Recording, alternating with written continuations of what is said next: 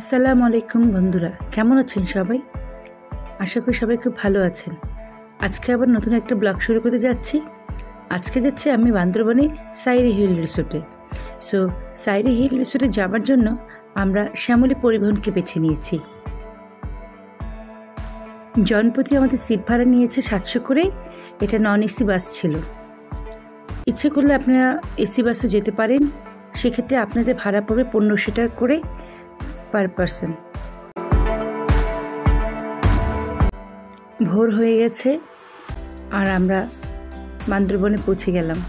বান্দরবনে আমরা hotel hill ভিউতে কিছুক্ষণ রেস্ট নিয়ে ফ্রেশ হয়ে ব্রেকফাস্ট শেষ করে আবার সাইডে হিল রিসোর্টের উদ্দেশ্যে বের হয়ে গেলাম। আমরা একটা সিএনজি ভাড়া করেছিলাম। আর সিএনজি আমাদেরকে বান্দরবন শহর থেকে সাইরো হিল রিসোর্ট পর্যন্ত নিয়ে যাবে। আর সেজন্য সে নিচ্ছে আমাদের কাছ থেকে আটশো টাকা। অ্যান্ড আরেকটা কথা হচ্ছে সাইরো হিল রিসোর্টে যাওয়ার পূর্বে একটা চেকপোস্ট আছে, সেখানে আমাদের নাম এন্ট্রি করে দেন যেতে হয়েছিল। এই যে আমরা পৌঁছে গেলাম সাইরো হিল রিসোর্টে আর এটা হচ্ছে সাইরো হিল রিসোর্টের প্রবেশপথ। এখানে সুন্দর কার পার্কিংয়ের ব্যবস্থা আছে, ইচ্ছে করলে আপনি আপনার নিজস্ব পরিবহন নিয়েও এখানে চলে আসতে পারেন। এখন আমরা ভিতরে প্রবেশ করব। এন্ট্রি খাতা চেক করে আপনার নাম আছে এখানে দেখে দেন তারা ভিতরে প্রবেশ করতে দেবে।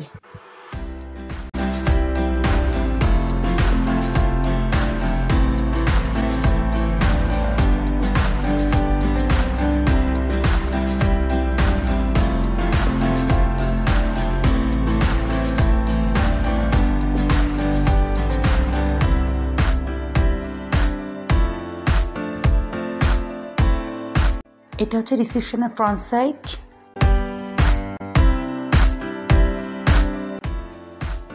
আর আমরা এখন রিসেপশনের ভেতরে চলে এসেছি।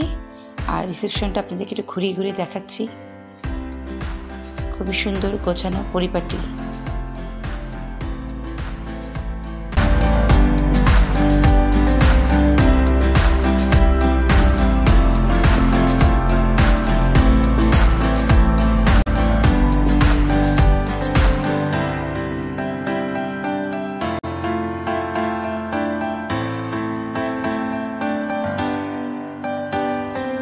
আমাদের চেক ইনের টাইম ছিল দুপুর দুটায়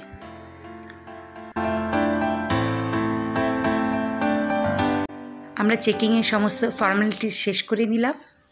আমাদের ওয়েলকাম ড্রিঙ্ক দেওয়া হলো। এটা সম্ভবত তেঁতুলের শরবত ছিল। বিভিন্ন ক্যাটাগরির রুম আছে। আমাদেরটা হচ্ছে টিভা।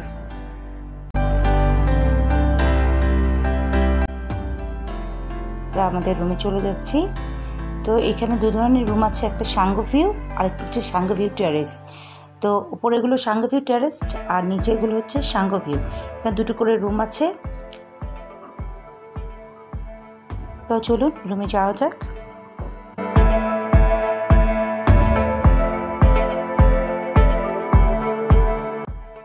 সাঙ্গভিউর এই রুমগুলোতে তিনজনে থাকার মতো ব্যবস্থা আছে।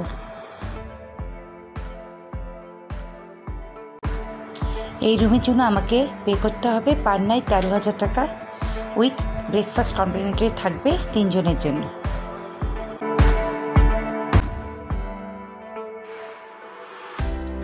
এখানে একটা কাপড় রাখার আলমারি আছে। আপনি এখানে কাপড় রাখতে পারবেন। আর ছোট একটা ফ্রিজ আছে। ফ্রিজে নানা ধরনের ড্রিঙ্কস আছে। এখান থেকে ড্রিঙ্কস নিয়ে থাকলে আপনাকে এক্সট্রা পে করতে হবে।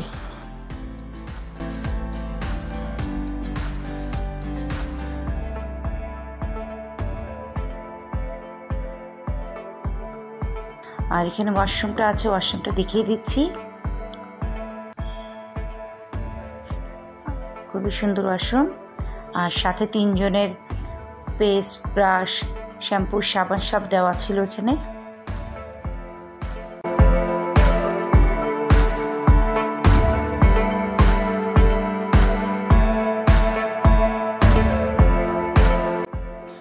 যেহেতু আমরা তিনজনের রুম নিয়েছি সো তিনজনে থাকার জন্য সুন্দর বিছানা ছিল এবং তিনজনের তিনটা পানি, চা, কফি সব কিছু সুন্দর ব্যবস্থা ছিল। আর রুমটা আমাদের কাছে খুব পছন্দ হয়েছে।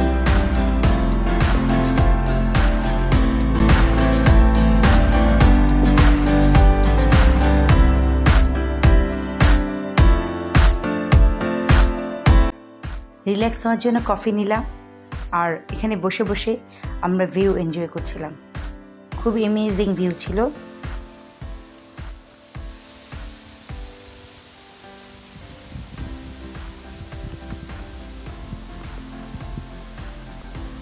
আমরা একটু বের হলাম বাইরে সাইডের রিসোর্টটা দেখার জন্য। তো এত অসম্ভব সুন্দর লাগছিল আর এত সুন্দর বাতাস ছিল।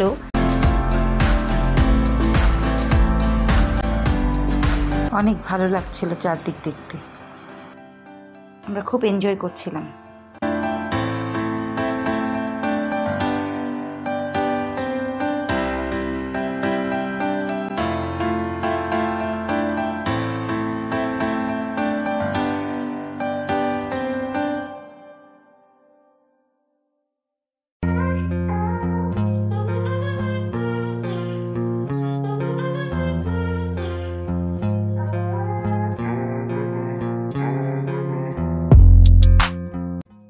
এখানে একটা জিনিস লক্ষ্য করলাম, যে এখানে দেওয়ালে দেওয়ালে খুব এন্টিকের কাজটা করা হয়েছে, যা দেখতে খুব ভালো লাগছিল।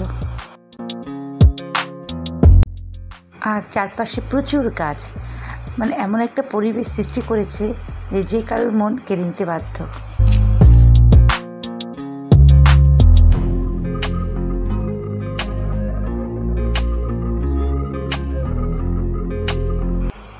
আমরা এখন যাব শিমুলতলা, দেখতে এখানে কটেজ আছে পাঁচ ছটার মতো।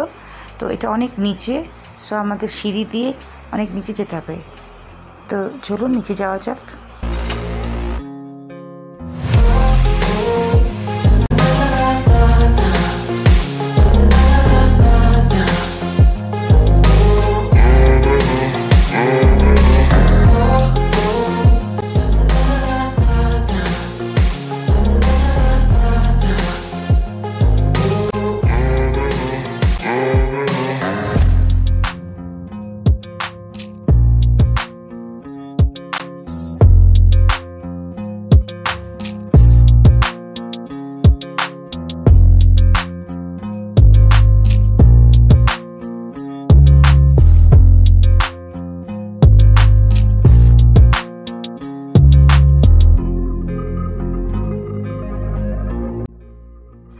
এটাই হচ্ছে সেই শিমুলতলা।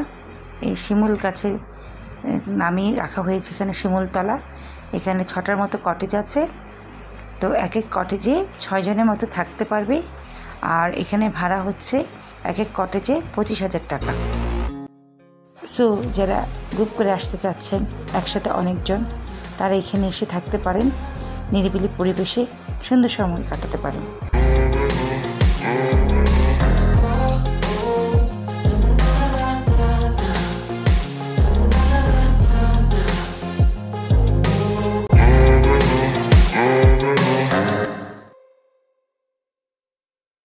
এখানে বিভিন্ন ক্যাটাগরির রুম আছে। সো এখানে প্রিমিয়াম রুমগুলো ভাড়া হচ্ছে আঠেরো হাজার টাকা পার নাইট। আপনি আপনার চয়েস মতো রুম নিতে পারবেন। অনেক সময় অনেক কারণে বা অকেশনে তারা বিভিন্ন ধরনের ডিসকাউন্ট অফার করে থাকে। সো আপনারা তাদের পেজে খেয়াল রাখবেন। আপনারা সেরকম অফার ডিসকাউন্ট অফারে চলে আসতে পারেন।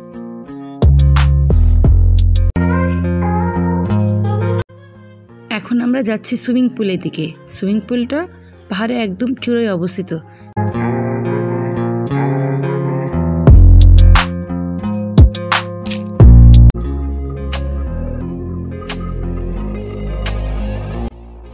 এই তো আমরা সুইমিং পুলে পৌঁছে গেছি। সুইমিং পুলটাই হচ্ছে এই রিসোর্টের সবচেয়ে আকর্ষণীয় একটা জায়গা। খুবই চমৎকার ভিউ পাওয়া যায় এখান থেকে।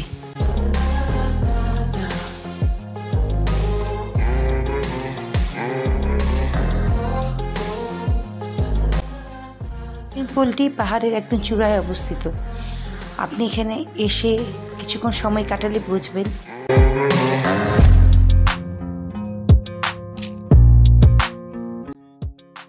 এখান থেকে পাহাড় দেখতে খুবই চমৎকার লাগে আর পাহাড় আর পানি মনে হয় যেন মিশে একাকার হয়ে আছে। খুবই সুন্দর লাগে দেখতে।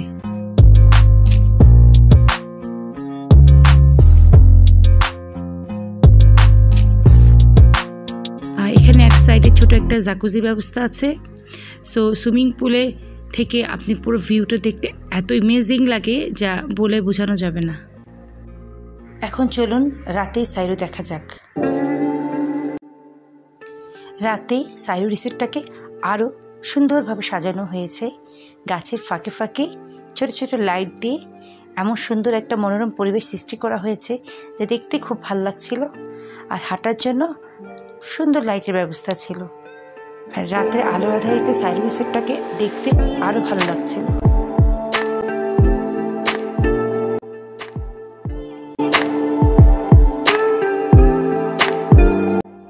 রাতে অবশ্য সাইরো রিসোর্টে করার মতো কোনো অ্যাক্টিভিটিস নেই। সো আমরা ডিনার করে আবার আমাদের রুমে চলে যাই। ডিনারের জন্য আপনাকে আগে থেকে অর্ডার দিয়ে রাখতে হবে। সন্ধ্যা আটটার মধ্যে আপনাকে অর্ডার দিতে হবে। আর তারপর তারা আর অর্ডার নিয়ে থাকে না, আর দশটার মধ্যে আপনাকে ডিনার কমপ্লিট করতে হবে। এরপরে তারা রেস্টুরেন্ট ক্লোজ করে দেয়। ডিনার বা লাঞ্চ যেটাই করে থাকেন না কেন, সেটার জন্য আপনাকে পে করতে হবে। আর এখানে আমার কাছে প্রাইস লিস্টে একটু মনে হয়েছে, তুলনামূলকভাবে একটু বেশি।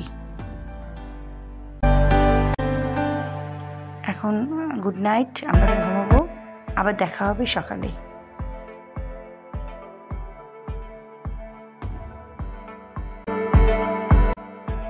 গুড মর্নিং সকাল সকাল আবার চলে আসলাম। এখন যাচ্ছি আমরা ব্রেকফাস্ট করতে। হ্যাঁ ব্রেকফাস্টটা আমাদের রুমের সাথে কমপ্লিমেন্টারি ছিল। বুফে ব্রেকফাস্ট তো চলুন দেখা যাক কী কী আছে ব্রেকফাস্টে এখানে দেখা যাচ্ছে ব্রেড বাটার জেলি তারপর এখানে আরও কিছু জিনিস আছে, দেখি কী কী আছে। এখানে দেখা যাচ্ছে পরোটা, নান। তারপর এখানে আছে লুচি দেখা যাচ্ছে। তারপর এখানে ভুনা খিচুড়ি দেখা যাচ্ছে, ভুনা খিচুড়ি। দেন এখানে আছে মিক্সড ভেজিটেবল ডাল ভাজি আছে মনে হচ্ছে হ্যাঁ ডাল ভাজি। তারপর এখানে আছে চিকেন কারি এবং পাস্তা ওকে এখানে আছে প্যানকেক প্যানকেকের সাথে সিরাপ আছে। আর এখানে মিষ্টি খাবার আছে তারপর অ্যাপেল পাহাড়ি কলা দেখা যাচ্ছে। আর আপনি ডিম খেতে চাইলে পিছনে ওপেন কিচেন আছে। সেখানে আপনি যদি যে ধরনের ডিম খেতে চান পোজ বা ভাজা আপনি বললে আপনাকে দিয়ে দিয়ে দিয়ে যাবে। সো তাহলে আমি আমার ব্রেকফাস্ট নিয়ে এসেছি। তো আমি ব্রেকফাস্ট করি দেন আপনার সাথে কথা হচ্ছে।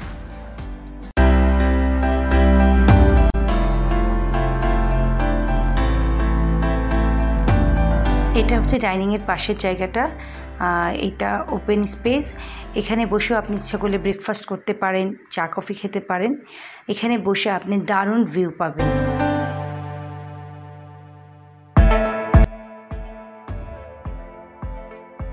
এটাও হচ্ছে ডাইনিং আরেক পাশের জায়গা।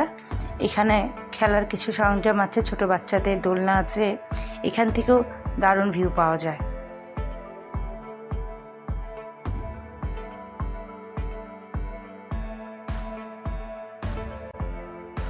এখানে দেখা যাচ্ছে কর্নফ্লেক্স আছে বাচ্চাদের কর্নফ্লেক্স তারপরে চা কফি ইত্যাদির ব্যবস্থা আছে এখানে।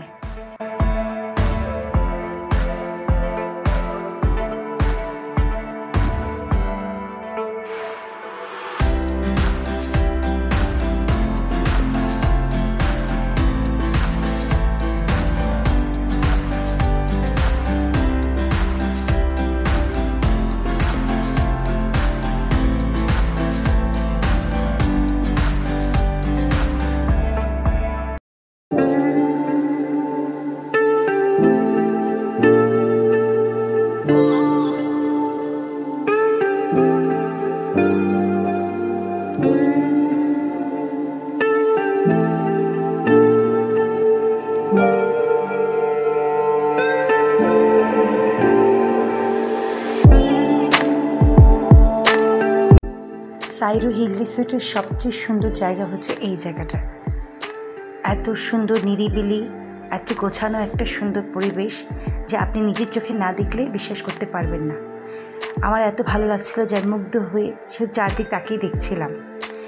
এই পরিবেশটা আমি জানি, আমার কাছে মনে হয়েছে যে বর্ষাকালে এটা সৌন্দর্য আরও দ্বিগুণ হয়ে যাবে। চারদিকে এত সবুজ আর সবুজ বর্ষাকালে এটাকে আরও পরিপূর্ণ করে দেবে বলে আমার ধারণা। আমার ইচ্ছা আছে বর্ষাতে একবার হলে বেরিয়ে যাব এখান থেকে আর এখানকার প্রকৃতির সৌন্দর্য উপভোগ করে যাব। আর আমি আশা করি আপনারা একবার হলেও অন্তত এখানে আসবেন আর এখানের প্রকৃতির সৌন্দর্য উপভোগ করে যাবেন।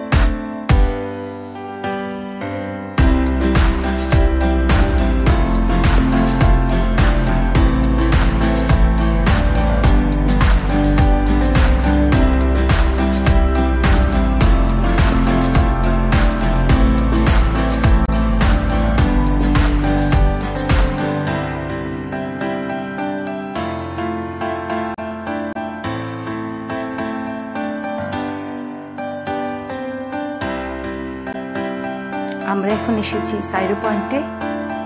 এই জায়গাটাকে সাইরো পয়েন্ট বলা হয়ে থাকে। যে একটি গাছের সাথে আরেকটি গাছ যে এভাবে আলিঙ্গন করে আছে, এই জায়গাটাকে বলা হয় সাইরো পয়েন্ট। এই জায়গাটা সাইরো পয়েন্ট হওয়ার পেছনে একটা ইতিহাস আছে। আর সেটা হচ্ছে, তখনকার দিনে যে রাজা ছিল, তার মেয়ের নাম ছিল সাইরু। সে অন্য গোত্রের একটা ছেলেকে ভালোবাসত। তারা রোজ এখানে এসে দেখা করত। যখন তাদের এই মেলামেশার কথা রাজা জানতে পারল, তখন সে বাধা দিল এবং তাদের এই বাধার কারণে ছেলেটাকে অন্য জায়গায় বিয়ে করে ফেলতে হলো।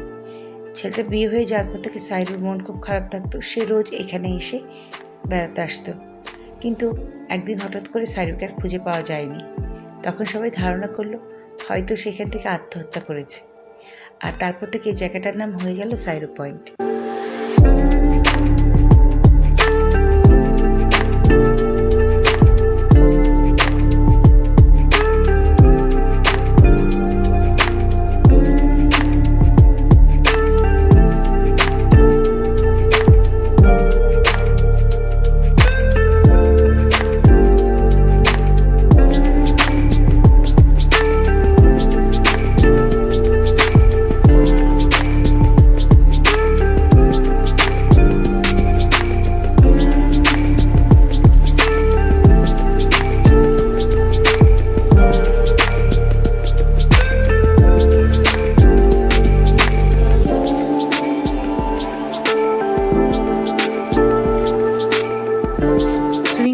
পাশে এই জায়গাটা হচ্ছে একটা কনফারেন্স রুম এখানে টেনিসে খেলার ব্যবস্থা আছে, তারপর প্রজেক্টরে ইচ্ছে করে মুভি দেখতে পারে।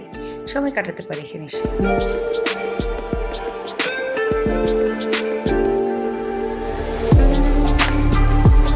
আমাদের ঘোরাঘুরি পালা শেষ, এখন আমরা চেক আউট করব। তো আমাদের কাছে তো খুব ভালো লাগল রিসোর্টটা দেখতে, ঘুরে ফিরতে। আশা করি আপনাদের কাছে অনেক ভালো লেগেছে। আমি চেষ্টা করেছি সব ধরনের ইনফরমেশন আপনাকে দেবার জন্য। ব্লগটা যদি আপনাদের কাছে ভালো লেগে থাকে, তাহলে অবশ্যই লাইক দিবেন আর সাবস্ক্রাইব করবেন প্লিজ আর কমেন্ট করে জানাবেন আমি কীভাবে আর ইমপ্রুভ করতে পারি। তাহলে আজকের মতো এখানে বিদায় নিচ্ছি। আবার দেখা হবে নতুন কোনো জায়গায়, নতুন কোনো ব্লগ নিয়ে। সে পর্যন্ত সবাই ভালো থাকুন, সুস্থ থাকুন। আল্লাহ হাফিজ।